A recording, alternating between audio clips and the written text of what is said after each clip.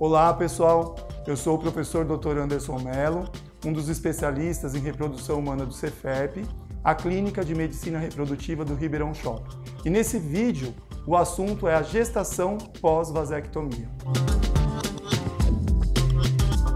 É um tipo de contraceptivo masculino considerado irreversível, onde ocorre a interrupção do sistema canalicular dos órgãos genitais masculinos.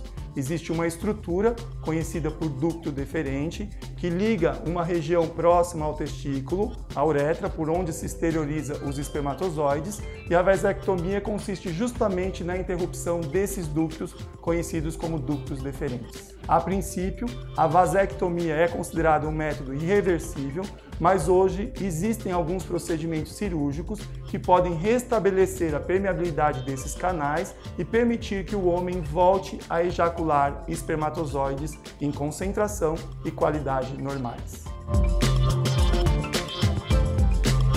Então hoje, para esses homens, existem dois procedimentos principais. A própria reversão do sistema canalicular ou então a fertilização in vitro.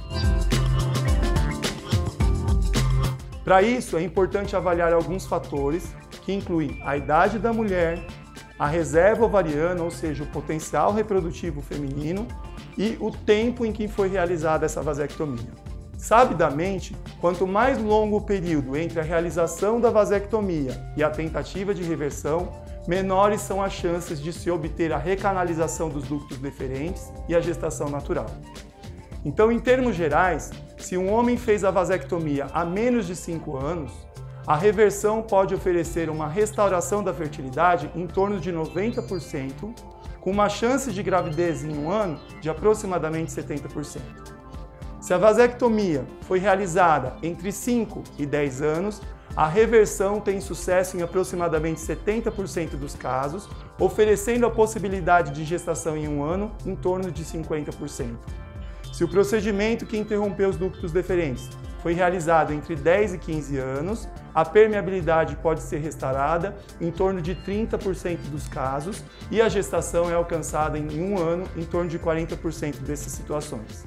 Agora, se a vasectomia foi realizada há mais de 15 anos, uma tentativa de reversão pode oferecer um sucesso em torno de 30%, mas as taxas de gestação espontânea em um ano são menores do que 15%.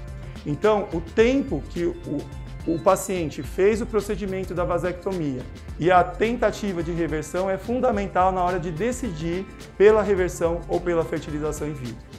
Um outro ponto importante é que quem opera espera.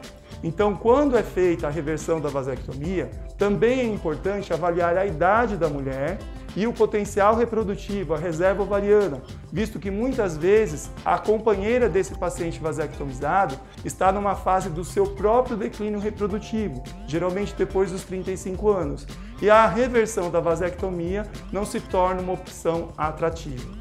Então, como vocês puderam observar, é importante na hora de decidir entre a fertilização in vitro e a reversão nos pacientes vasectomizados, uma avaliação completa do casal, incluindo não somente o homem, mas também aspectos relacionados aí à parceira desse paciente. Bom, e naquelas situações onde não é possível fazer a reversão da vasectomia, seja pelo tempo que se passou na realização desse procedimento, ou seja por fatores femininos, como é possível se obter espermatozoides nos homens vasectomizados?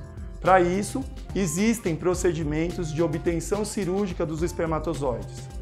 Através de uma agulha bem fininha, o urologista pode introduzir essa agulha numa região próxima ao testículo, conhecida por epidídimo, e ali ficam armazenados espermatozoides que podem ser utilizados para fertilizarem os óvulos no laboratório de fertilização.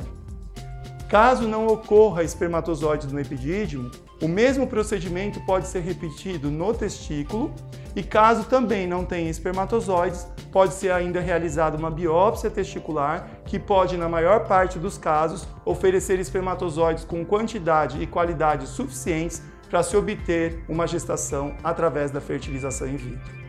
Continue nos acompanhando no nosso canal do YouTube, que em breve teremos novidades para vocês.